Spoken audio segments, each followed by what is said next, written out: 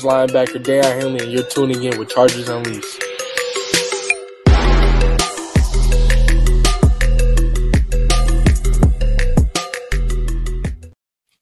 Welcome to a special live edition of Chargers Unleashed. Jake Hefner and Dan Wolkenstein here with you from the LA Football Network. this is your first time tuning into the show, make sure to hit that like and subscribe button on YouTube. You can also follow us on Facebook, Twitter, Instagram, Spotify, and Apple Podcast. Dan Wolkenstein can barely even get that one out. The excitement is palpable. It's running through my veins right now. Two days remaining until the 2024 NFL Draft. There is so much excitement, hype, however you want to spin it. Um, around this Chargers team right now in terms of what they are going to ultimately end up doing at five in the in the two days that will follow Thursday, and ultimately what this draft class is going to shake up to look like. Lots to get into. We wanted to make sure that we did a live show this close to the NFL draft. Lots to get into tonight as Dan and I are going to go through some of our favorite players whether it's rounds or day one, two, three, doesn't matter. Some guys we have talked about at nauseum on this show. Other guys we'll be speaking about for the first time. I have no idea what Dan's list looked like, nor do my own. Uh, we're basically just flying by the seat of our pants as it relates to the my guys in this as well. Of course, we will obviously be taking questions from the chat, so make sure to get those in. And then we will be capping off today's live show with a fan driven mock draft. That's our agenda today. We have lots to get into before we do. Dan Wolkenstein, talk to me. Woo, boy, Chargers fans in the chat. We got two more days until Chargers make history. First year under Jim Harbaugh and Joe Hortiz. Chargers era officially begins uh, in new form, new fashion. And boy, am I pumped. I know we talked about this before. I can't remember a draft season that has been this anticipated and has me this excited for the new regime, if you will. And so, yeah, this live show, we had to do it. We listened to a lot of the fans and viewers and listeners who said he wanted to do a mock draft with you involved. So, look, here we are. We're doing that. Second half of the show, that will be what we do. First half, we're going all things Dan's dudes, Jake's guys, Jake's jewels, whatever you want to coin your term, Jake. I don't really care. I'll let you work on that. Uh, folks in the chat, you know the deal if you have questions, comments, topics, put it in the chat. We'll do our best to kind of weave it in and out as we go. First thing on the docket, we're going to be going through our guys. I'm curious though, folks in the chat, who are your guys? I'm curious to see how many of the ones that Jake and I have selected here to talk about. There's so many to choose from, but who are the ones that you love? Who are the ones you will be pounding the table? You'll be doing backflips, you'll be doing belly flops in Rivers Lake, whatever it is that you'll be doing shots, cartwheels. You tell us. We'll put it in the chat as we go. Uh, Jake, how big is your my guys list generally? Not necessarily what we're going to talk about here, but like how many guys would you say you have as your guys? This year's probably one of the bigger lists. I, I I'm only going to be talking about 10 of them. That's kind of a microcosm as it relates to the overall list. I mean, in general, you can make a my guys for just the wide receiver list because the Chargers need two of them, and you can make a case for a lot of different guys on how they could be a great fit for this team. Uh, but in how we're going to break this list down, I've got 10 guys. I, Dan, I think you've got eight to 10 guys as yep. well that we have. Yep this is going to be fun. I because I like this just from the standpoint of look, regardless on whether or not the Chargers select any of these players, these are just guys that are fun to watch. And then to see where they're ultimately going to end up going and making an impact for whatever team that they end up land on. This is why this is fun. And this is why we don't even rank these because there really is no rankings. We we like these players so much. No rankings are even needed. It's just to say let's go through the list and let's have some fun with it. Yeah, Young West in the in the chat already. I'm not gonna lie, I know we need depth in this draft, but if we have Marvin Harrison Jr. or Nabers there at five and trade up, trade back, I'm guessing he means I might just check myself into a crazy home. Good news, we will be doing a mock draft here in a bit. I put a poll up on X to see what fans rather do: trade up or excuse me, trade back or stick and pick at five. If Marvin Harrison Jr. is not on the board, we'll see what happens. Uh, Jake, shall we kind of kick this thing into high gear? Hayden says Maserati going four. I think you and I both would agree. The most likely scenario is Arizona sticks and picks. Would you agree? I I think that even if quarterbacks go one, two, three, I'm not so sure that Arizona is going to find a trade partner that's going to give them the amount that they want to move off of Marvin Harrison Jr.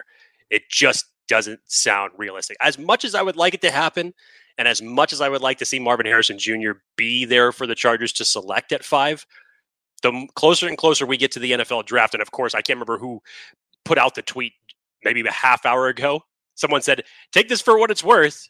But Marvin Harrison Jr. met with two teams, and not, not including the top line. It was the Bears and it was the Cardinals. So, however you want to shake that, that's probably how the first four picks are going to go. Yes. Um, so Jake, before to kind of set the table here, we're gonna go through our guys. So Jake's gonna do some, I'm gonna do some, we'll go back and forth. There obviously will be some overlap. There are some guys that Jake loves that I love, and vice versa. Uh, we'll go through and look at the chat as we continue on to see how many of the ones that you guys have align with us. I'm already looking James Wagner, Jake. He has Fuaga and he has Zach Frazier, who looks like door number three here on Jake's guys. We've also got Kevin A, who gives his a few names Junior Colson, DeWayne Carter, aka Little Wayne, Jaden Hicks, Isaac Rendo, and Brendan Rice. Jake, the floor is yours. Who are some of your Jake's guys? Do you have a TM? Do you have a trademark for a name, coin phrase for yours? No, apparently I'm not as popular as you are when it comes to the trademark. So good luck with your patent on that. Uh, all right, let's start from from this slide in particular. I didn't have these any in any discernible order here, but let's just go from left to from the left on this one. Let's start with Braden Fiske, Florida hmm. State. I loved everything that I have seen from Braden Fiske through watching the tape, through the testing phase for him, especially when it came to him just absolutely demolishing the combine. Yes, production was better for him in 2022 than it was in 2023, but he still finished with 43 tackles, 19 hurries, and six sacks. He just explodes off the line plays with his hair on fire. He can penetrate through offensive linemen with speed, with handwork. His play against Louisville, against the run, and how quickly he was able to get into the backfield just it, it highlights his best traits that he has and as, as an interior defensive lineman. And like I said, he had a great week of practice during the Senior Bowl and absolutely demolished the combine workouts. If this was a possibility to where you could say, no, look, even for the Chargers right now as it stands, we we haven't talked that much about interior defensive linemen and the needs that the Chargers have in that circumstance. I could see a universe at 37 if Braden Fiske was still on the board. Like, hey, we talk about how Jim Harbaugh likes to prioritize the trenches, but which trenches are we talking about? Because they both need work. But in general, I love what I see from Braden Fiske. I think whatever team ends up selecting him is going to get a great piece in the center of their, their defensive line that is going to be great against the run and the pass. Look, Braden Fiske, I think, is a fan favorite for a lot of people for a lot of good reasons. Uh, you can't go wrong. If Braden Fiske is the pick wherever they pick him, uh, I don't think Chargers fans should or could be upset, if I'm being completely honest. Uh, next up on your list, Jake, what you got? Was this how we're doing? I thought we were alternating. We can all we can alternate. We'll By all means, let's get to your trademark. okay, so I'm going with my guys here. Um, so I've talked about it a bit on on X. I've said it here a bit before, but you better, if you're not doing so already, keep up with the Joneses. And if you don't understand the phrase, look to your left. These far left guys from Florida State in Boston College. Elijah Jones and Jarrian Jones. Elijah Jones from BC, Jarrian Jones, the slot corner out of Florida State. Both of these guys are Dan's dude, certified, trademark, whatever you say. Elijah Jones, he's an outside corner, 6'1, like 185, ran a 4'4'4 40. 42 and a half inch vertical leap for this guy, by the way. Um, ideal height, I would imagine getting this guy with Ben Herbert and company, thicken him out about 10, 15 pounds or so, get him up around 200 pounds. Top man coverage grade, according to PFF, among all corners. Third lowest passer rating allowed in man coverage among corners, 100 plus snaps. Not a zone corner. So, again, like he's very specific. Island, Jones Island, put him there. Incredible boundary defender, active hands, a disruptor, gets in fits with receivers all the time. Jarrian Jones, this is like your slot demon, in my opinion. Six foot, run Nanny, run six foot, 190, excuse me. Ran a 4.3840, 4.3840, second best athletic score among corners, according to Next Gen Stats. 39 and a half inch vertical by himself. Ideal height, thin frame again, but again, this is a this is a slot nickel corner. This guy had top man coverage grade amongst corners, third lowest passer rating allowed in man coverage. Uh, I think I actually had that one wrong. Excuse me, check that. He's, in my opinion, Jarrian Jones is probably going to be what could possibly push Asante Samuel Jr. up or down, depending on how good he does. Both Joneses, in my opinion, are wildly underrated. And probably Elijah Jones is the more underrated one. You hear a lot of people talk about Jarrian Jones. Elijah Jones is like down in the 150 to 200 in most people's big boards. I think he's much better than that. I'm pounding the table for both of these Joneses. Jake, you, are you as high on the Joneses as I am? With this quarterback group that the, the Chargers currently have in their backfield right now, yeah, you should be high on both of these players right now, especially Elijah Jones, Dan. I was even seeing a, a tweet actually earlier today regarding him that they believe that he could actually go a lot higher than projected. When we did our mock draft yesterday, we were actually shocked that he was even still on the board when we ultimately ended up selecting him. Um, but Elijah Jones is going to be a very good corner. Honestly, I don't think that you could go wrong with either of these two guys. Yeah, and again, I, I misspoke. I apologize. Jarrian Jones. I, I always get the Joneses confused, and so it just my brain's mush at this point. Um, so let me get right on Jarrian Jones. This past season, only yielded 16 receptions, gave up a passer rating of 25.3, allowed no touchdowns, had three interceptions, and just a 4.2 passer rating allowed in man coverage, which is the best in college football. This guy flies around the football. He's crazy click and close, really good instincts, three year starter. Uh, Jerry and the reason why Jarrian Jones has a lot of hype, but both Joneses, in my opinion, I love. I love. Jake, let's uh, pass it over to you for a couple. What you got? I'll stick with the cornerback here, Dan, and a very, very intriguing cornerback. And we've talked about the possibility of the Chargers double dipping at certain positions, and whether that's wide receiver, whether that's cornerback, because they need dramatic help at both. Kamal Hadden out of Tennessee. I'm very yes. interested to see where he ultimately ends up going. And now you're talking about a player who has great size, athleticism. At one point in time this season, he had the third best coverage grade among DBs with 100 uh, coverage snaps with 90.4.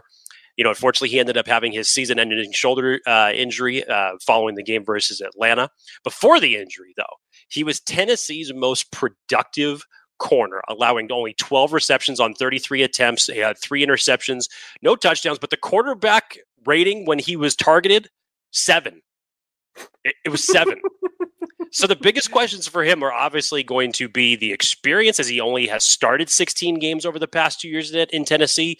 And hopefully that shoulder injury is not going to hamper him too much. But ultimately, I'm intrigued by where someone is going to see the value for Kamal Hadden because when healthy, I think this is a very, very talented quarterback that you could add to the back end of your roster. And I've seen a lot of people predicting him that he would probably go, you know, easy on day three, just not 100% of when. But I think that his intangibles in terms of his size and athleticism should have coaches salivating for some value. If you can get him at good health, you could develop him into a very nice backfield or, excuse me, cornerback to add to your backfield.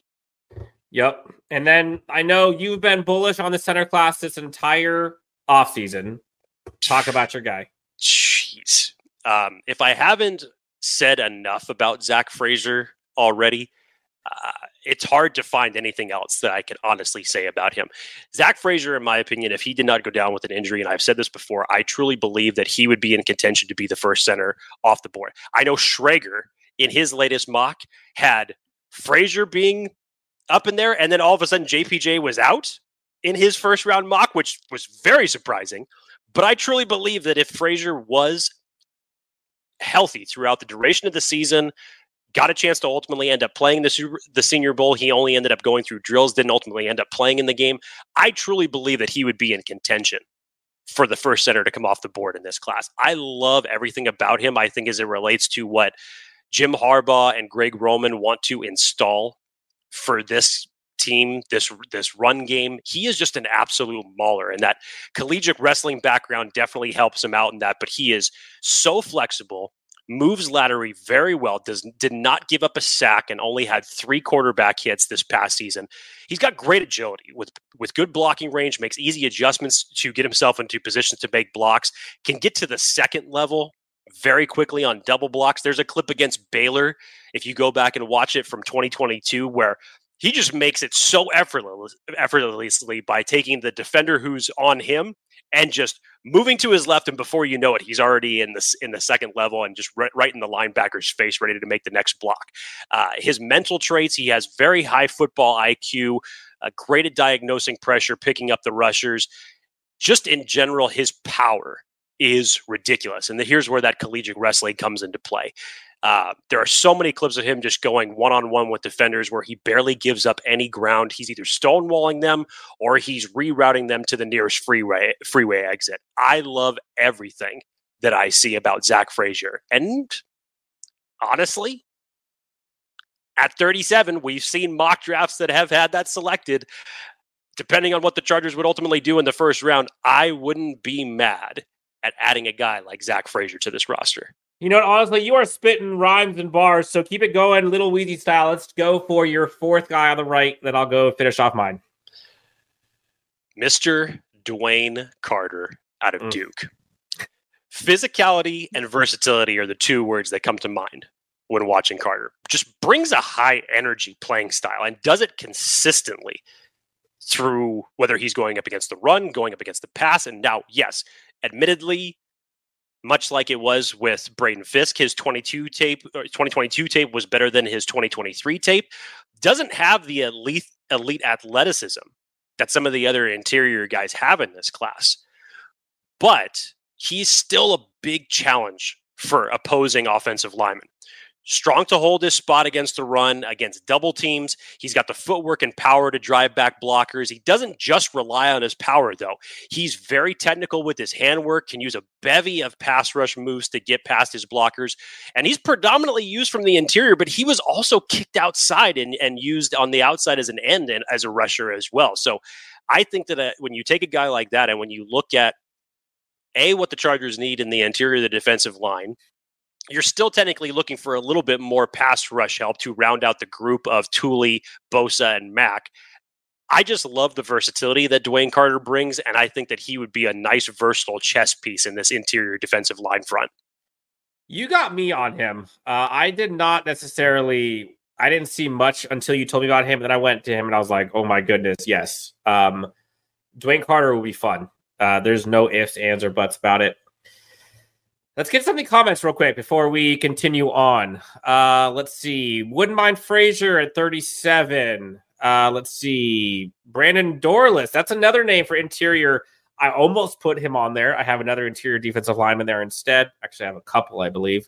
Um, Jake, question in here real quick. Someone asked about what is with where did it go? Philip asked, what's with the odds shifting hard for the Chargers to take JJ McCarthy?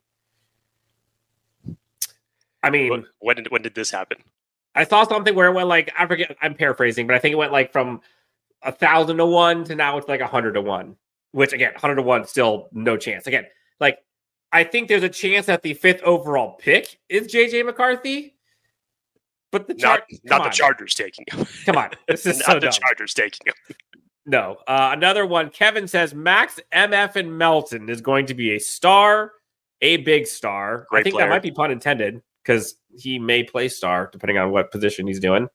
Um, all right, let's keep this thing going. Brad says we need at least six more DBs, hence why I've got three of them here on this list. Uh, so let's get to my other two. Jake. Um, real quick, Dan, actually piggyback off of that. Um, see, we had Alan in, uh, in the super chat real quick just to piggyback off the DBs. If we draft a cornerback and Asante Samuel Jr. struggles through the first half of the season, do you think he'd get traded? And what do you think his value is? First off, thank you, Alan. Shout out to the 499 that you provided us. Much, much appreciated. What do I think his value is? Um, he's going into what? His third he's what third se- fourth season, right? for a season. So this is his last year of his contract. Not much, honestly. Uh, I don't think his value be that high. I think he probably. I, I, just. I don't think. I don't think the scenario happens. Honestly, um, and if he does struggle, I also don't really see him struggling that much. Like he really hasn't. He's a perplexing player because I really like Asante Samuel Jr. He's great for what he does, but he's also not great at what he doesn't do well. And the one thing that this Chargers team needs is corners who can tackle. And he's not really the tackling type. He's, you know, he puts effort there, but it kind of feels like after the concussions and stuff that he went through, he's played a little differently since then. And I'm not sure that, that could just be me, but I don't know. I don't think there would be much trade market for him. Do you? Am I out of place here? I wouldn't necessarily say there's not a market. Personally, I don't see a situation where this ends up panning out and you and I say this strictly just because of what the cornerback room looks like right now.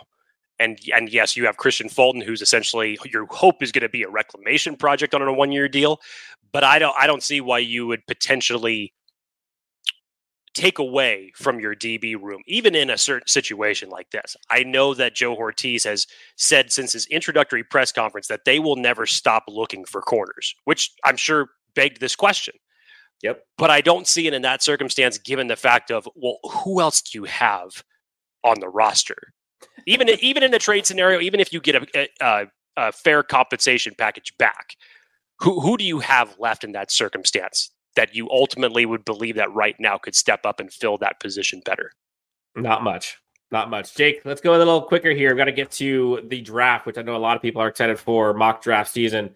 Uh, so my three and four on this list, uh, Dadrian Taylor Demerson, uh, a tongue twister of a name, but this guy is slick with it on the field. Four interceptions this past year, 4 4 140 time, three year starter, a little undersized, but sure tackler, 76.2 coverage grade. I think he had a 77 tackling grade. Plays very aggressively at the safety position. Really good ball skills. Would be great to have behind both Derwin and Alohi. We have no idea what JT Woods is going to be or not going to be. But he brings versatility, which I know is a staple of Jesse Minter's defense. Experience in the slot, in the box, as well as deep safety. His instincts are what he predicates his ball skills on. Good physicality, can definitely lay the wood. Cerebral player, someone I would love to see in this DB room. Uh, Jake, would you have where do you have him as your on your safety room, like list? Excuse me. admittedly, like he's safety, high for me. I mean, yeah, he, he is, but, this, but the safety class is. I know it's, it, it's, not the best. It's not that deep. So naturally, yes, you would have that there. Um, from a safety standpoint, in general, I'll be interested to see how that position is targeted in the drafts because yes, you obviously keep Alohi. You have no idea still what JT Woods is ultimately going to end up being. What does the back half of that position group look like? You still need to, I think, add some depth. It's probably not one of the higher positions that you target throughout the draft, given the other needs that you have to fill. But I'd be interested to see in general how the safety market is addressed. Yep.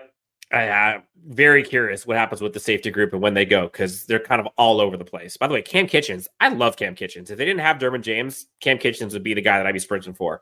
Uh, last one on this list for at least for this slide, Tyrone Tracy. Jake, we talked about it in our running backs episode. Yes. Dude, this guy is so forking fun to watch. I said I, it before. Antonio Gibson vibes from my end, and I don't say that lightly. Loved him coming out of college, uh, out of Memphis. He's a bit raw as a running back, but dude, like this guy's got athleticism for days. He's got all of like the the flashy explosiveness that you can ever dream of. Uh, fourth best yards after contact per attempt in all of college amongst running backs with 100 plus attempts with 4.4 yards, 4.44 yards, excuse me. Fifth highest elusive grade among running backs this past year with 100 plus attempts with a 163.5. His total numbers aren't there because he wasn't really utilized as much as some of like the really more prolific prolific running backs that you hear about. He only had 114 attempts. But if you look at the averages of those 114 running attempts, they're elite. The guy hits holes quickly. He's a pure athlete, violent feet, 448 speed, prototypical size, 5'11, 210. Tyrone Tracy is so fun to watch.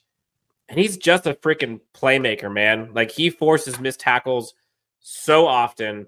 Great out of the backfield. I would love if this guy somehow got on this Chargers team. I know they already got J.K. Dobbins. I know they got they, they, I think they could go for one more, honestly. So please, Chargers, please get this man on this Chargers team. I'm glad that you brought up Tyrone Tracy because honestly, I was going to put him in my list of guys, but then I thought to myself because I knew how much you loved him, and I thought, you know what, Dan is probably going to end up putting him in his list. I'm just going to let him take the ball and run with it. You're welcome.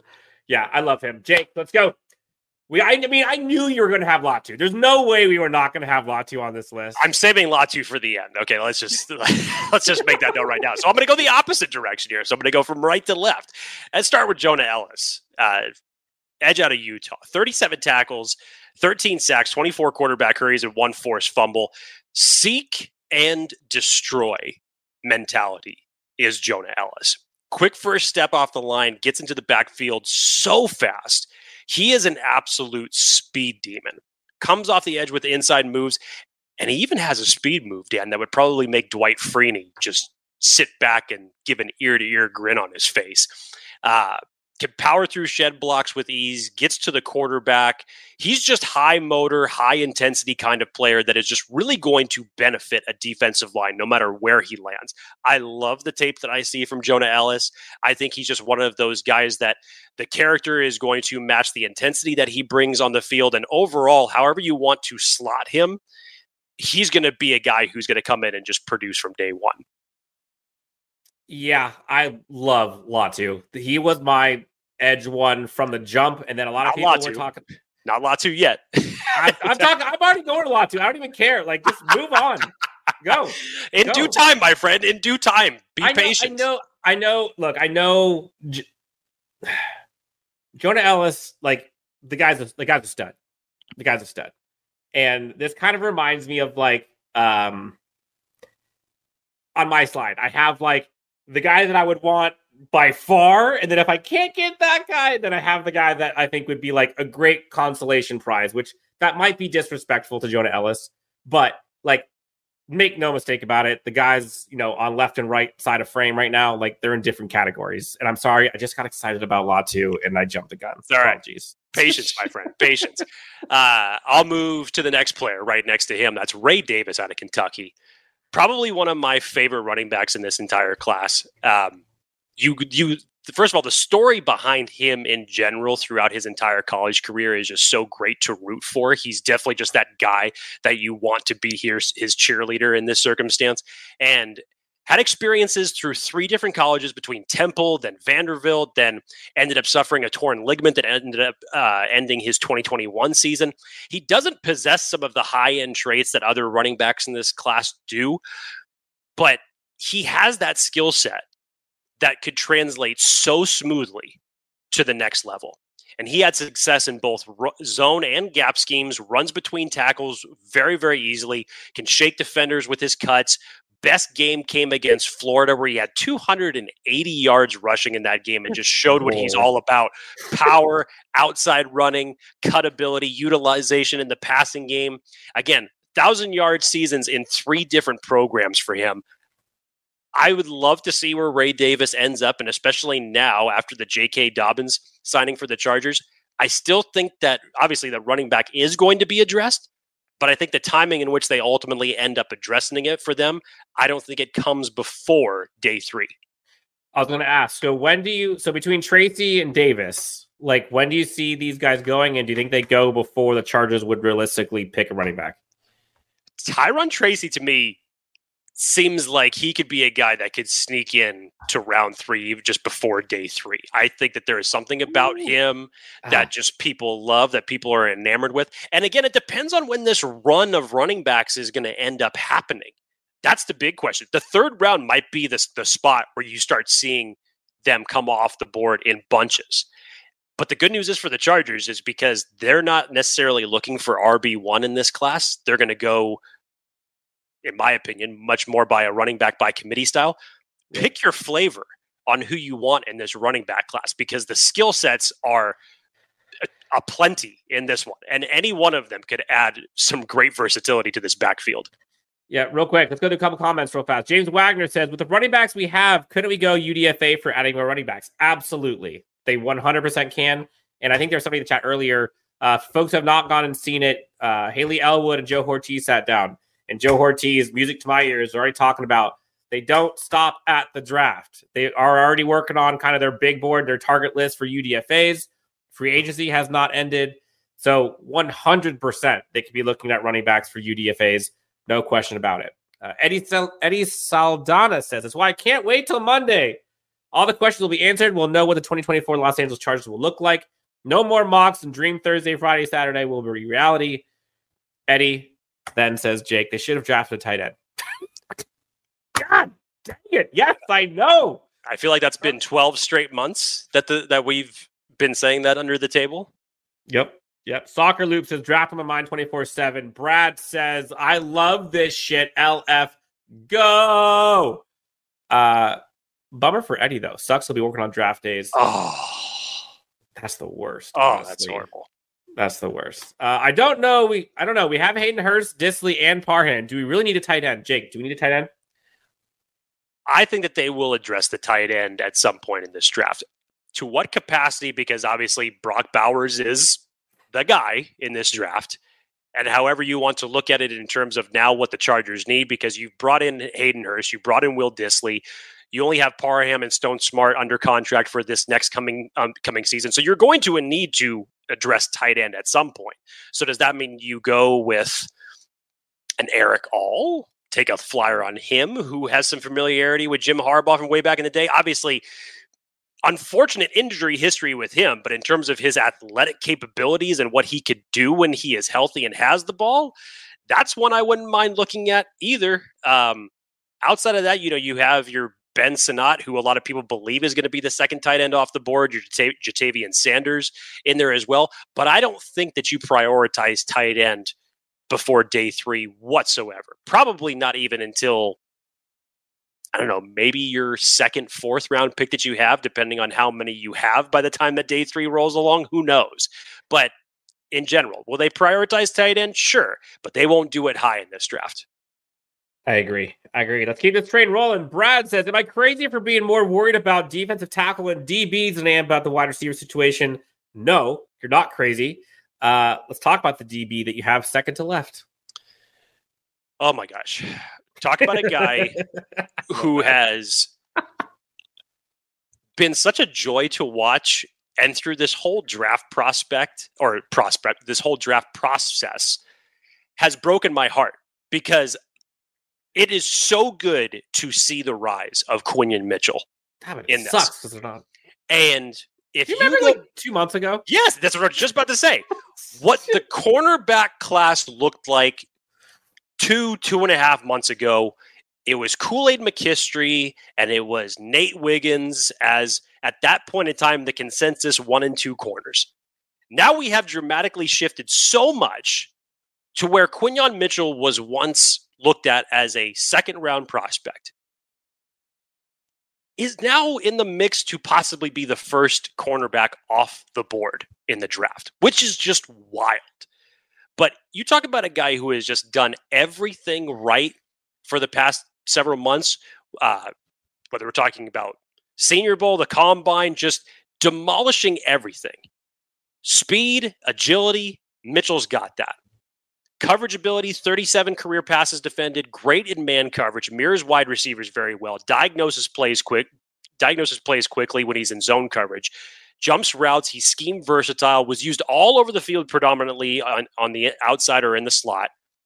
He's physical, played predominantly an off coverage scheme in Toledo, so there hasn't been much of an opportunity for him to show how physical he can be with wide receivers.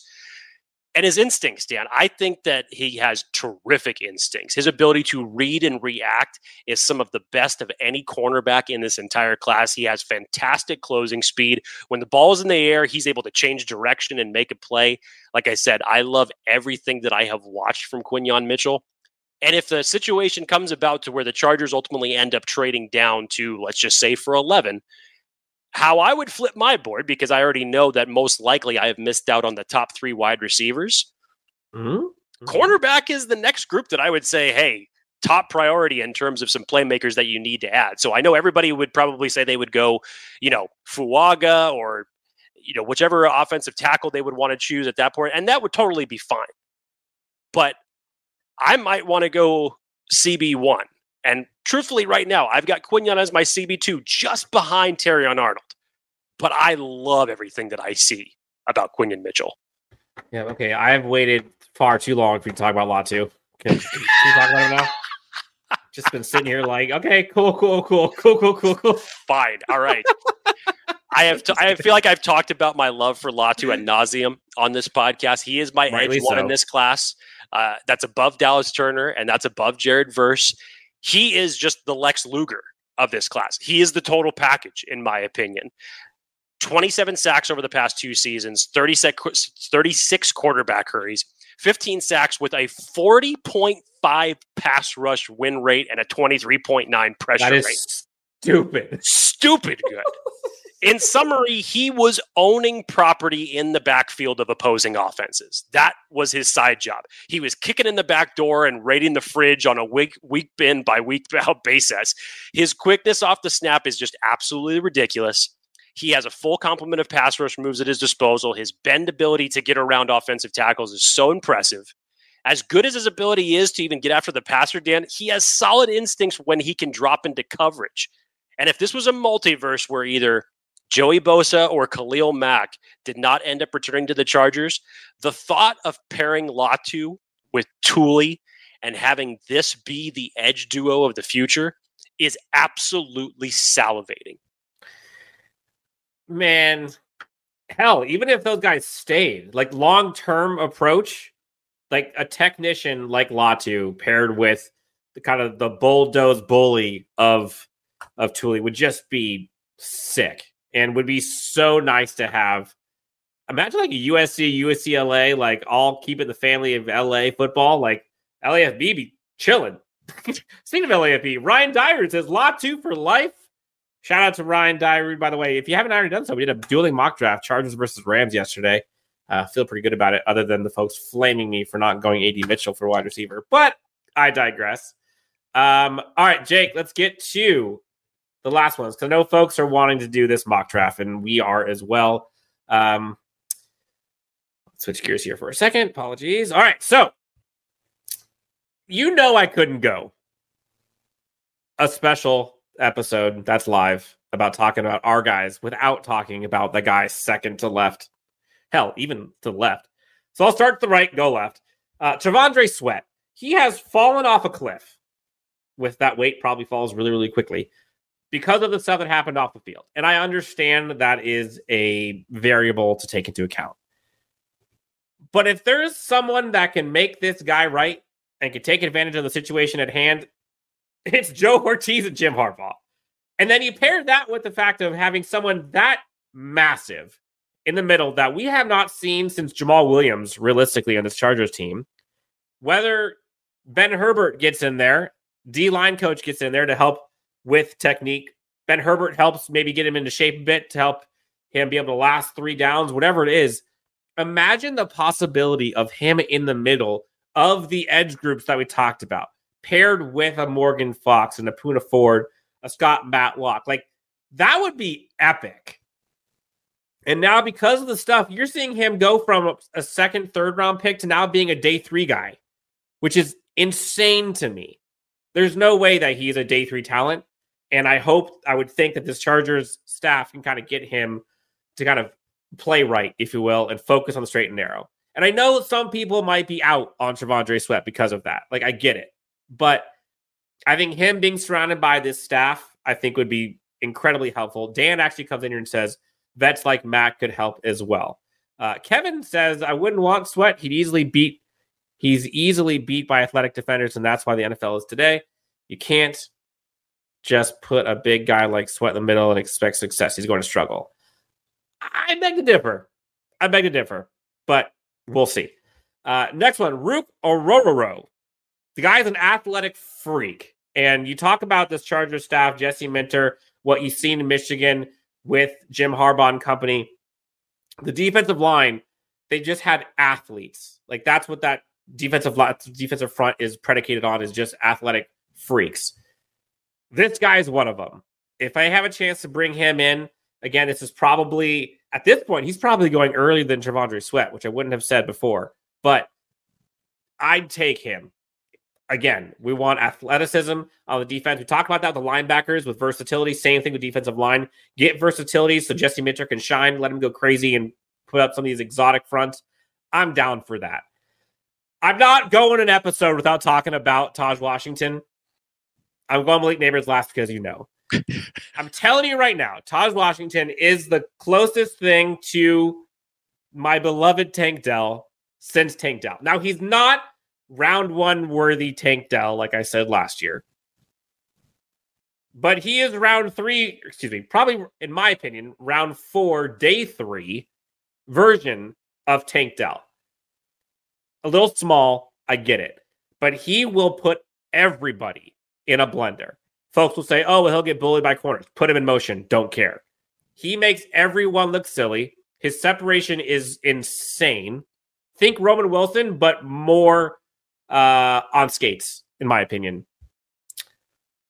Go watch his film. He is, in my opinion, so dynamic. He's not necessarily like the crazy fastest guy, which he does have speed, but he has kind of the agility and kind of the start stop. He has kind of the the Nintendo Switch, if you will, to make guys miss all over the place, and he would be a mismatch for defenders. I know he's small. Bulk him up, put him in motion, let him go crazy. He could be what I think we thought Derius Davis could be. Last on my list, and this might be a little bit easy because I think everyone at this point has climbed on board the neighbors train, and we may see the Chargers draft this guy at five overall, and you guys might select him at five overall when we do our mock draft here in a bit. Malik Neighbors is my favorite player in this draft class and has arguably been the, my favorite receiver that I have seen probably since Ja'Marr Chase. And that's including Tank Dell, which I fork and love Tank Dell too. I don't remember the Chargers ever having somebody that has this type of athleticism and explosiveness paired with speed. And you can argue which receiver is quote unquote better between the big three. My favorite, the one who I think causes defenses to panic the most, to not give up the big play, to make them in conflict throughout, is Malik Neighbors. We don't know what this Chargers team, what the fit is that they want to have. They don't, we don't know that. We think we know. We think that maybe Odunze and maybe uh, Marvin Harrison Jr. fit what they want the most maybe, just maybe, Joe Hortiz and Jim Harbaugh say, you know what? Fork the fit. I want this thing to break. I want to put defenses in conflict and I want to do something that we haven't done before. I don't want the I don't want the X guy. I want the one who is going to freak folks out all the time. Give me a heavy box, throw over the top to neighbors. Give me a light box, run down your throat all day. What are you going to do? If you're a defender, what are you going to do? Honestly, he is my favorite by far. Dan Dude certified, trademark, you name it. Like, in my opinion, Jake, I'm going to be there with you. If the Chargers stay at five, or maybe they trade back to like six or something, and that's the guy that they choose, I am going to be relentless. it, it I have wanted this guy since December. It wouldn't surprise me if if he got picked and how much you would lose your mind that I may actually like have to keep you from going out in public because of some like maybe worry about disorderly conduct and you you know you getting put in the uh, drunk tank there for, for overnight. You could actually be that excited. Not, i might not be able to drive home put it that way. I mean i mean there's a couple scenarios where i may not be able to drive home for good or for bad reason but uh yeah. There was a bunch of questions before jake. Your money if you are if you like if you are Hortiz and if you are Harbaugh and you're the offensive staff. Knowing what we know currently, who do you think that they would want? Do they care about fit? We talked to Chris Rim today, and they said it's less about fit, it's more about mentality and who's that dog. And they we talk about like they like dog. a little bit of crazy. What is the fit that they're actually looking for? And is it him? This would have been much easier to predict if Keenan Allen was still on this roster. To me, this Hmm. would have this would have made Malik Neighbors maybe even the pr- proclivity favorite to be the selection because of the skill dynamic that Keenan had and how much that mirrors to Marvin Harrison Jr. and how much that mirrors to Rome Odunze. Now it's just like, hey, take your pick. What do you need as it relates to wide receivers? And the best thing about this draft is there's so many. Whether you're talking about the top three, you go down a little bit further. Brian Thomas or AD Mitchell would be great fits. You go down even further, Xavier Legette or Roman Wilson. As Dan said, you go down even further, Tahj Washington, Tez Walker. I mean, just keep going down the list, and you can make an argument to say how they could fit well into this Chargers offense. So it's a great problem for them to have. And like you said, it was interesting hearing Chris talk about that today, that it's not so much about fit, but it's hard for me not to believe that it is. It, it, really is like, I, I hear you. I want to believe it, but at the same time, I can't bring myself to do that. no, I like I, I think I think that if it was the Chargers and somehow Marvin Harrison was on the board, I think they're probably go they would probably go Marvin Harrison Jr. Like I I think. I mean, I could be wrong, but I think I, that would be I believe that if he was available to them at five, I don't think that they would waste any time in what they needed to do. Yeah, or trade back. Honestly, I think this just like cool, we're good. Which, yeah. Uh So, Jake, switching gears here. Uh, we went a little long there, but I got a little excited talking about your Latu and neighbors and all those guys. Uh Folks in the chat seem to like neighbors. There is some folks here talking about a Odunze, which let me tell you, folks are sleeping on a Odunze, man. I have seen so many people talk about like, ah, Odunze's not it for me. He's gonna be another Quentin Johnston. Like he's whatever. Like uh packed. like come on. Like he is going to be a stud. And if you watch how he plays, you watch who he mirrors his game after, Rome Odunze is like if he was who the Chargers selected, I'd be pumped. Like the guy's legit. I don't understand why all of a sudden everyone's like, oh, and maybe it's just because they like the two more. Yeah, I, You don't said have to shit on people to, to rise people up. Like, come on. I, I said this a month ago when we did another live show, and this question in terms of were people sleeping on a Dunze because all the chatter was about Marvin Harrison Jr. and Malik Neighbors. I will just put it to you as simply as I did a month ago. Rattle off the wide receiver room for the Chargers as it currently stands right now. And tell me that Rome Odunze cannot be that guy in that locker room on day one. And I'll just put it as simply as that. I mean, again, like you wouldn't be wrong. like it's just I think I've seen so many people just constantly poo poo Rome Odunze that I'm just like kind of over it, honestly. Um Okay, Jake, switching gears here. Moment a lot of people have been waiting for. We're going to go all things mock draft now. So, how we're going to do this because we could be here for hours and I know folks got stuff to do. Doing a mock draft. I went on Twitter earlier and I asked if the Chargers were at five and Rome, excuse me, and Malik, wow, Marvin Harrison Jr. and three quarterbacks were selected, what would you prefer? And let me just go double check, make sure nothing crazy has happened. According to, and this was as of as of right now, with over 400 votes, stick and pick or trade down, stick and pick wins with 61% of the votes. So we are sticking and picking. So, folks in the chat, let's do quick. One, two, three. One is going to be Malik Neighbors if we're sticking and picking in this scenario. One is Malik Neighbors. Two is Joe Alt.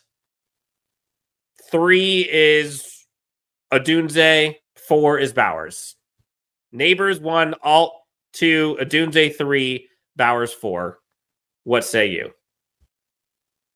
I'm gonna give this five seconds. We're gonna see one just flood the screen, and we can move on.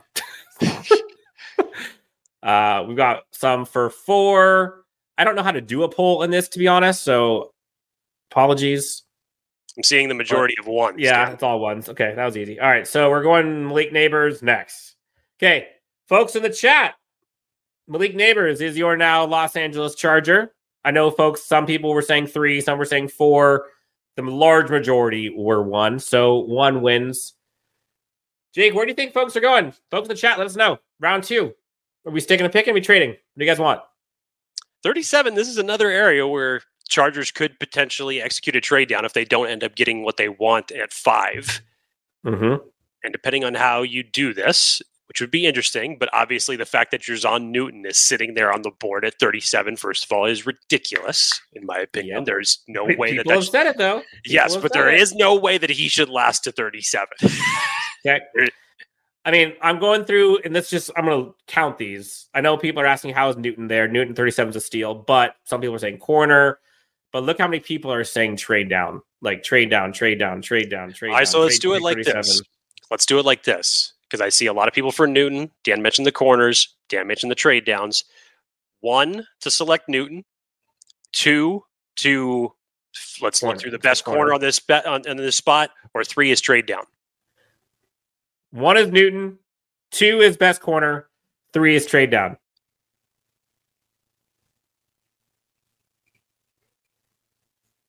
Let's see. We've got ones. Oh, here we go, guys. One, Three, three. Oh one. boy. One, three, three, three, one, three. Oh, this is a lot more mixed this time. I've got a two in there. So it's Newton or so it's basically between Newton and trading. There's a lot more threes coming up though. Yep. Trade down. All right. Trade All down right. it is. So we're going from pick 37. I'm trying to accumulate some picks here, Jake. How far down should we go? 72 seems far. Yeah. I don't think you're going to go that far. All right. So we're doing 70. We're doing 37 for 43. Let's see. That's not working. 79. Nope. 109. There we go. We can do 43 for 109 and 143. Most likely that'll work. You think we can do it? Go ahead. All right. Let's offer the trade. If it doesn't work, I'm forcing. Hey, trade accepted. Perfect. Fast forward. Here we are. Chargers pick 43 now. Troy Franklin. Again, don't need a receiver at this point. So you got Peyton Wilson on the board, Tyler Newman, Zach Frazier, your boy, Jake. I know this is where folks are pumped about getting him possibly. Jake, where do you think folks are wanting to go here? Who are the remaining corners on the board currently? Just curious to possibly give other people an option. TJ Tampa, Dru Phillips, Khyree Jackson, Renardo, Green, Green. Okay, Jake, you got about 47 people in here saying Frazier. Like, Frazier, look at Frazier, this. Frazier. I, mean, Frazier, I- Frazier, Frazier, Frazier, Frazier, Frazier, Frazier. I won't even ask the question when you have that much overwhelming majority of people asking for it. All right, Frazier, it is. Frazier Frazier, it is. is. your no Los Angeles Charger picked at pick 43. You're now at pick 69. You have a center of the future, a great one, by the way. You also have bona fide playmaker in Malik Neighbors. Fam, what are you doing now? Are we going interior defensive line? Do we want to go edge? Somehow Junior Colson is still on the board if you want to go linebacker, which would be sick. By the way, I'm not trying to sway the witness here or anything, but uh, folks in the chat, let us know where to kind of start this conversation. Let's see. Kevin saying Colson. On offense, your first two picks that you have selected. Colson to be hard to pass up. So it looks like it's people in the chat are saying Yeah, show it. Show them, the, show them the corners. Corner- I'm curious Yeah, to see who's now on the board. Oh, if Khyree, they can get Leonardo, Leonardo, right now. Jerry and Oh, Jones. and there's my Jones. I'm telling you, I'm telling you right now. I'm telling you, Jarrian Jones is going to make someone look so good. Obviously, in this Slot corner. circumstance, because the picks now have now been Malik Neighbors, Zach Frazier, I would assume that the next pick is definitely going to be on the defensive side of the ball. Yeah, just just it- my thought. So, what are your options here, Dan? You could either go linebacker, you can go corner. Do we have any other options that we could possibly go? Some are saying running back, which I don't think that's the popular one, but you got Trey Benson there, Marshawn Lloyd, that's all there. Uh, so let's go real quick. Would you rather go corner or would you rather go Junior Colson? That seems like the two that were the most. Colson. we've Some got people are asking for some people are asking for Rook. Corner is our Colson, biggest need at the moment. corner. Someone says take Jackson. He, he's a he's a he's really good corner in my opinion. Yeah. I love watching Khyree Jackson. Okay, I think Colson's the name we've seen the most. And it's probably Colson, I mean, I, see but- Colson. I also see. I mean, the, it's to me, it's kind of corner. even. It's- Corners. yeah. It looks pretty even right now. All right, Jake. Do you think right now we you and I both talked about this? This team needs to get corners badly, Yes. and this would be a tough decision for this team. Having to decide between going with their homegrown talent and Junior Colson or the priority, in my opinion, for this defense, which is corner. Uh, Now I'm seeing it be overwhelmingly be Colson in here. But I mean, I've said it. I I can't see a scenario where the Chargers come out of two days of the draft and not select a cornerback. I just can't see that situation playing out. But it's not my mock draft. This is your guys's. Okay. What do we do? Do you think it's Colson? I think everyone, a I mean, majority, look how many. I think majority of people are picking Colson. Colson, Colson, linebacker, linebacker, Colson. Okay, we're going Colson. The people have spoken. Junior Colson, which, dude, if they went Junior Colson, Malik Neighbors, and Zach Frazier as your first three picks, like that's cooking with gas. Next up, you are at pick 105, the beginning of round four. Again, you now have picks 105, 109, and 110. This is where Chargers fans make their hay. So, corner is probably where we're going to be looking. And honestly, this is probably, if it was me, is where I'm double dipping. Whew, there's your boy, Dan. Yep. Still on the board. Yep. Jarrian Jones, Chris A lot of-. Everyone's saying corner. Everyone's saying, well, I shouldn't say everybody. People are asking to check the tight ends as well. Let's check the tight ends. Let's see. Cade Stover, Jared Wiley. Wiley, Theo This is probably the realm you can get a tight end as well. Not going to lie. Uh, just looking at the running backs real fast.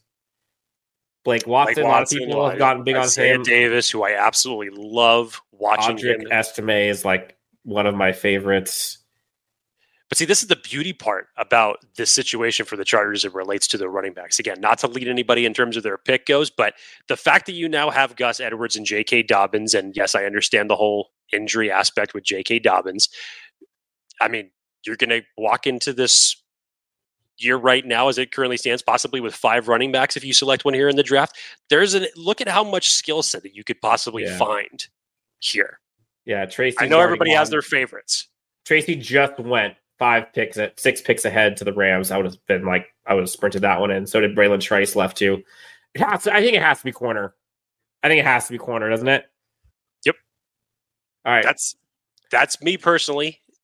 No, no, I think that's what people are saying too. So at this point, you've got Chris Abrams, Drain, Jarrian Jones, or I saw some people asking for Carson. I saw some people saying Jones. Anybody else with any other saying- corners that A lot of people are saying Jones right like now. Like to throw in? There's a lot of people saying Jones specifically. Jones, got to be Jones. Jones, Jones, Jones, Jones. Jay Baby says we already got a quarterback. We already got a quarterback. I don't think we do. Who's our quarterback? He's he's talking about. Uh, I think he's talking about um, mentioning Kristian Fulton, but still, I get it. Twenty five years old, one year deal. All right, Hopefully, we got you get a reclamation project out of that. You still need some corner depth in this backfield. Yep. Here is Jarrian Jones, your newest Los Angeles Charger, because everybody is wanting him except for a few people. Somebody was asking, "Is Khyree gone?" I believe he just went a few He picks before the selection. Yep, he was gone. Okay, now you're picking at 109. The tight ends are still there. For those who wanted tight ends, what are folks thinking? What position? tight ends, running backs. Again, because what, Dan? This was only how many picks later from where we just selected? Four picks later. Four picks later. You still got your choice of a lot of these guys. But I think you could probably. I mean, you got the next two picks back to back. So you can also. People are saying double dip at what? Double dip. Yeah, dip. it's draft time, baby. when you start dropping words like that on a live show, double dip at wide receiver. Hey, you can go Brendan Rice, Tahj Washington are here, Jacob Cowing. I know people are high on him too. They could double dip at receiver. That could be fun. What's the interior of the defensive line look like? Dan? Yeah, people are looking at interior and edge. Let's go there real quick. Interior defensive line. Huh. Ho ho! Hey, both of our guys are here. Hey, Yo. If it was between these two, Jake, if it was right now, which of these guys are you taking? between those not- three, not- no, between Sweat and Carter. I would probably lean Carter just because again of the versatility, I and the consistency with him. With Sweat, I personally look. I'm not knocking Sweat, and I think that he was trying to make a statement when he showed up at the same weight at the combine from when he showed up at the Senior Bowl. That's what he's comfortable at playing at that type of a weight. And again, he's a freaking behemoth and a, a, a scary athletic one for a guy that's that big, surprisingly. But I think he's trying to prove a point that he can last out there longer than what people are predicting. But in this particular scenario, I would lean towards Carter just because A, yes, you don't have those weight issues. And B, the versatility and the consistency in terms of his motor is there with Carter. You got people spamming the shit out of Sweat right now. Look at this. Like, I I, I, Sweat, I totally sweat, understand. sweat, I sweat. totally understand why. I totally understand why. So I, I I would not knock this pick at all. I think that this would honestly be a great pick, and personally, was probably where a lot of people before the draft process really got going had originally predicted him to go. And then, of course, before the DWI situation, he was probably a lot higher. So if you can get T'Vondre Sweat at this point in time, regardless of what you think about his weight issues, I think that's great value. All right, so we're going Sweat. Good news is you have the next pick. So Chargers fans, where are we going now? You can go tight end, safety, running back, linebacker. Let's go through these real quick. Tight end, you got Jared Wiley, Theo Johnson, Jaheim Bell. Tip Reiman's another one that people like. Probably probably not linebacker because you took Junior Colson, so that's now off the board. right. All right, let's look at Edge real quick. I'm seeing I'm seeing Rice, I'm seeing Watson, I'm seeing again a lot of people saying Sweat. Still, Offensive line saying Limmer. Beaux Limmer, is he in here? looks like There Beaux. is. Oh, he is in there. Okay, you already got, but you got you already got Zach Frazier. You're gonna go two interior two interior linemen. Like a Beaux Limmer, I guess, came out He can in a he press can play- conference. Yes, he could play that, but I think his I think he was saying his preference was that he was ultimately going to end up going to guard rather than playing center. That was where Mhm. his preference was to be. Yes, can he play it? Obviously, he can. But I think that that was where a lot of people were thinking to say, "Hey, screw it, kick him inside, and he could be a guard." yeah, uh, Jake. A lot of people are saying Rice. A lot of people are saying Rice here. So let's go quickly here. So receivers, you've got Brendan Rice. Let's have Rice be a choice. That'll be one. Let's put T'Vondre Sweat as a choice in there. Be it two. No, we already, we already got Sweat. So, Okay.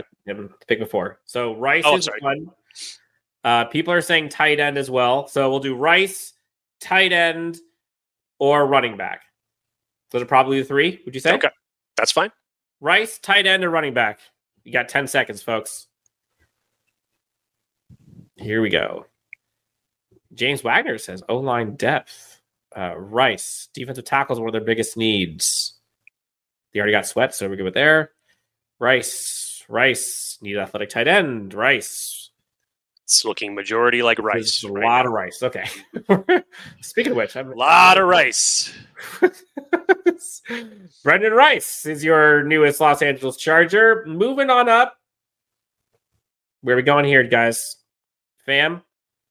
Looks a lot of people are thinking running back too. So let's look It's at running back. tight now. end, your running back. You still have some great options here for the running back spot. Kimani Vidal would be a fun selection. Will That would be Shipley would be a good change of base. This is a this would be a good value for Will Shipley right now, in my opinion. How far has he fallen, by the way? Who I'm Like, sorry, who are you talking about? Will Shipley. Like, remember when he was looked at like a couple months ago was like within definitely RB five to ten, and now he's like, I mean, ranked one forty five. I I mean I had him what as my ninth favorite running back prospect in the Yeah. draft.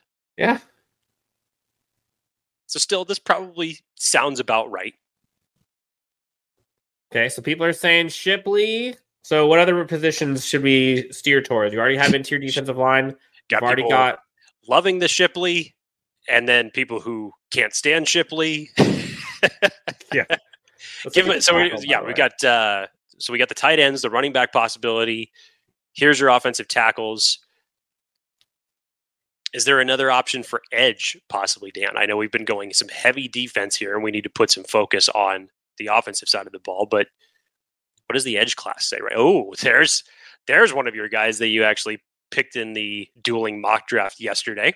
Love Gabe Murphy. Yep. Okay, so in the chat, let's go real quick. Would you rather go edge, tight end, or running back? Running back. One, two, three. Edge, tight end, running back. Let's go. Let's go, guys. Come on. Come on.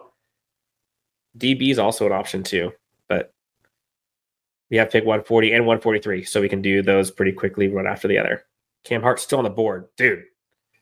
Yes. One one forty And and Hadden. one, one, four, 140 and one forty three are the picks that you guys have. So it's gonna be very close with one another. Yep, Cam Hart is on the board. A lot of people are changing this up and saying corner.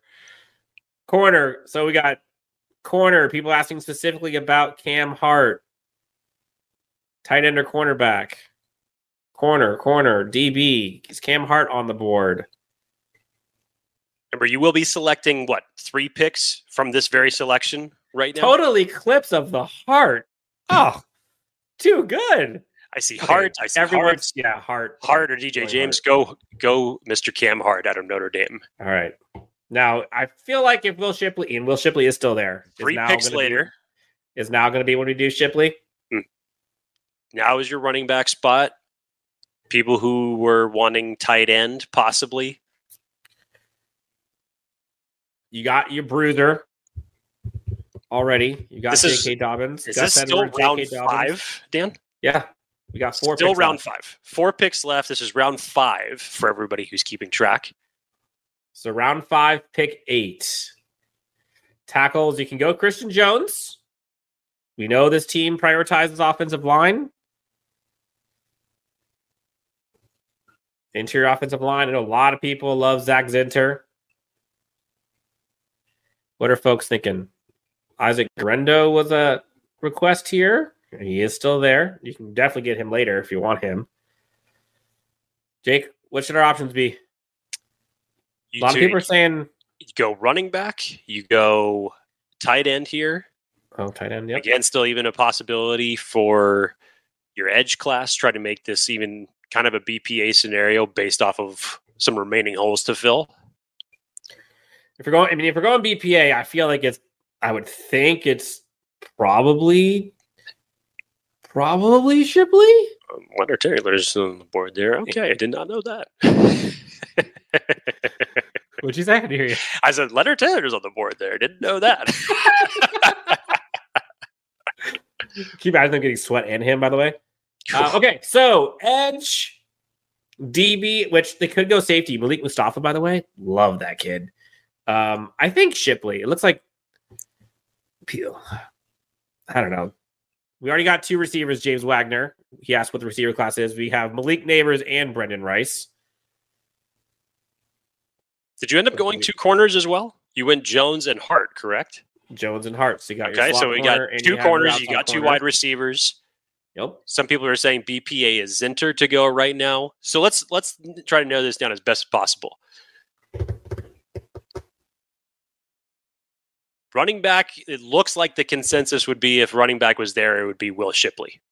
If anybody else wants to cast a vote for that to try to sway that, by all means, put the name in the All chat. right. Will Shipley or Zach Zinter? Shipley or Zinter? Shipley or Zinter? And hell, for tight end. Shipley, Zinter, tight end. Six, five, four, three, two. Shipley, Shipley, Ship. Leonard Taylor, Zinter. No, God that is just like Zinter, Zinter, tackle, Leonard Taylor. God dang it. You guys aren't helping me. We got to get going. We got to eat soon, fellas. Ladies, come on. Shi okay, I think Shipley wins. Okay. Ah. Shipley, Shipley, Zinter, Zinter, Zinter, Shipley, Shipley, Shipley. I mean, Z- Zinter might actually win. This Zinter was probably win. the most diverse pick of the entire mock draft so far in terms of who was left on the board. Okay, Zinter or Shipley, Jake. I'm letting you decide. It seems like a toss up here, so you pick. When's the next selection for the Chargers? In 40 picks, roughly. Uh, okay, so whichever one I pick, the other one is most likely not going to be on the board. Um, you know what? We have to figure that Jim Harbaugh is going to address the offensive line at some point and outside of the center position. So you want to build up a little bit more depth. So in this case, I'm going to make an executive decision and call it on Zinter. Okay. Running backs left. We've got Kimani Vidal, Cody Schrader, Isaac Guerendo. Kamal Hadden is there, honestly. So you go three DBs. Yeah, dude, how many DBs we right now do have never starting? stop taking looking for corners. Never stop taking corners. Yeah, again, they already got Junior Colson for focusing linebacker, but if you want to go double dip at linebacker, you can do that too. Michael This Barrett's is- there.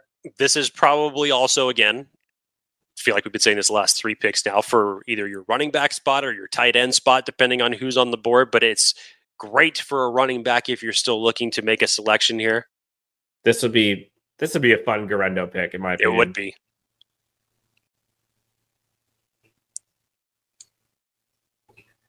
Jones. People were talking about Christian Jones. He's not there anymore.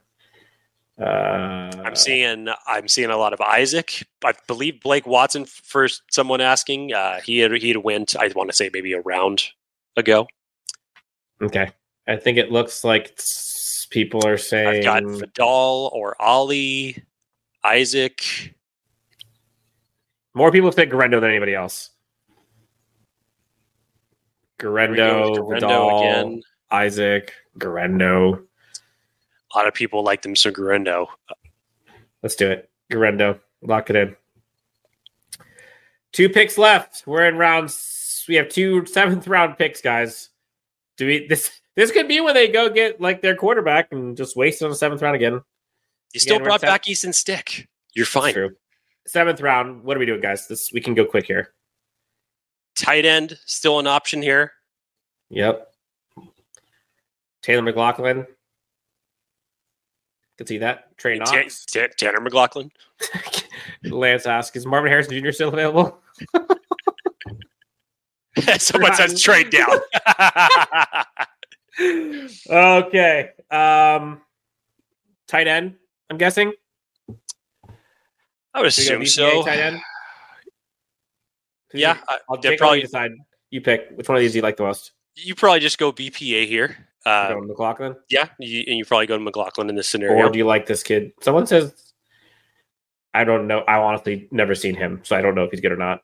I would probably go McLaughlin here if it was me. All right. People are saying Span Ford, but that's the same person that said Minnesota.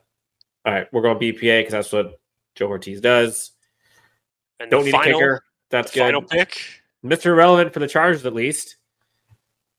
Someone wants to trade us. We're not doing it.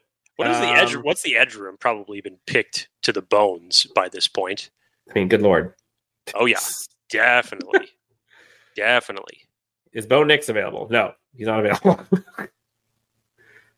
Last one. Should we get Tagovailoa just to make it fun? That'd be hilarious. Andrew Coker. What's the cornerback room look like? You've let's kind of do a recap here. You've addressed your wide receivers twice, your cornerback twice, your center, your interior defensive line. You have Linebacker. linebacker. You took a running back. You took a tight end. In your guys' opinion, I guess maybe you can show you- me the safety room, Dan. But what do you guys think that the Chargers' remaining Mark needs are for the final pick? Oh, Mark Perry would be a good one. I can't believe he's still there. That's crazy. They have his usual rankings between like the sixth and seventh round. Honestly, I would probably do some kind of corner. Remember, we just took tight end as our last our last pick that we just selected was a tight end. Someone says grab a Wolverine, so that could be Josh Wallace. This is our last pick, guys. What are we done? Okay, so everyone, a lot of people are saying offensive linemen. So let's go to offensive line, offensive tackle, offensive.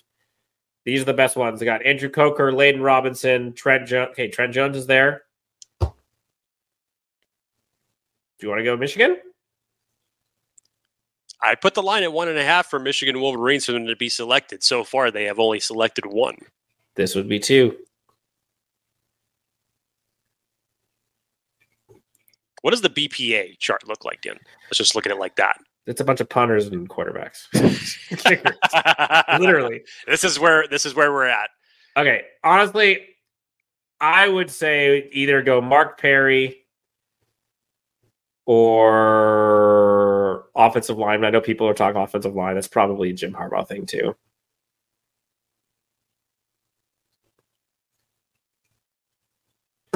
If it were me looking at this, I would probably say round it out with Perry. That would be me. Okay, it's round seven. We're doing it. Mark Perry. Honestly, fam, we did it. We did it. Let's see how they graded it.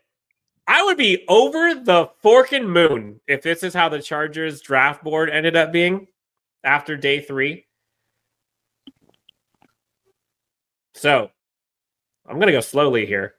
I'm gonna take my time with this one. Malik looking, Nabers. looking pretty good throughout uh, round Yeah. four so far. Malik Not bad. Nabers, Zach Frazier, Junior Colson, Jerrion Jones, T'Vondre Sweat with a steal. Brendan Rice stays in LA. Cam Hart, fan favorite. Zach Zinter, another fan favorite. Uh, Isaac who's got who's got bad smoke on Zach Zinter all of a sudden here in round what five? ac- according to them, we reached there, but Okay. everyone says that that's not a reach, at least on our side. Uh, Tanner McLaughlin, Mark Perry, A minus. well done. Y'all, we did it. We did it. A minus. I'm gonna put this one up in the on X so folks can see it. Hang it in the Louvre. Um, fam, we are so close.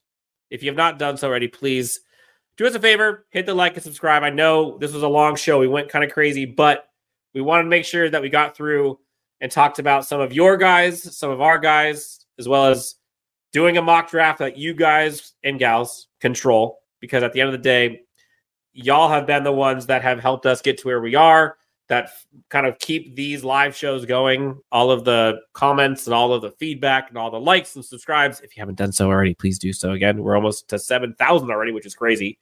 Um, thank you to everybody. Jake, parting words. Two days left before the NFL draft, mm. which is wild. Can't wait to be there with you through it all. Parting words, I would say, let's have some fun this weekend. Another thing that I have said and that I have learned through, as we've all learned from watching this team over these several years, in this particular draft with a new regime in control, and I know everybody has their player that they want or a situation that they want to pan out. Try not to pigeonhole yourself into thinking of just one thing and hoping that it's going to happen. Because in this particular case, with this particular draft, it could go so many different ways. And honestly, through the last decade of what has taken place from the draft with the Chargers, just let it ride and have fun with it and have an open mind for what's going to take place because this is going to be a fun three days of the NFL draft coverage, and I cannot wait. Look, at, at the end of the day, uh, Eggnog Surfboard says just wait till the pros do the draft. Be excited. It might not look the way you want, but they know what's up. You guys, gals, Chargers fans, all were almost like 96% clamoring for Jim Harbaugh to come in and turn this thing around. And he's here. I don't think it's really fair for anyone to really question it within the first three, four months of him being this Chargers head coach. Let Jim Harbaugh, let Joe Hortiz cook. Sweet Jump says, yes, Jake saving lives out here, 100%. I do it Um, again. I'm just pumped to see what this team does because this is, like I said, at the top, new era of Chargers football, new era of drafting. We could see a trade down for like, whoa, what's happening? Embrace it all, enjoy it all. Uh, this is a new era upon us, and I think Chargers fans should be very excited. Dan says to trade or not to trade, that is the question. Uh, Nick says it's going to be a great weekend. Jake, anything else before we get out of here? Let's go. James Wagner says, enjoy the good that is coming. All of you have been the good that has been with us from the beginning. We appreciate all of you. Again, if you have not done so already, please hit that like subscribe. We do have the giveaway that we will be announcing on day one of draft. On day one of the draft, go to our X profile. All you gotta do is like, subscribe, put the screenshot of your subscription. You have a chance to win a jersey of your choice of a Chargers draft selection of your choice. Like Sweet Jump says, win win.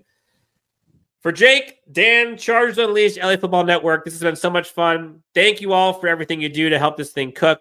We appreciate all of you. We'll talk to you next time on the next Chargers Unleashed.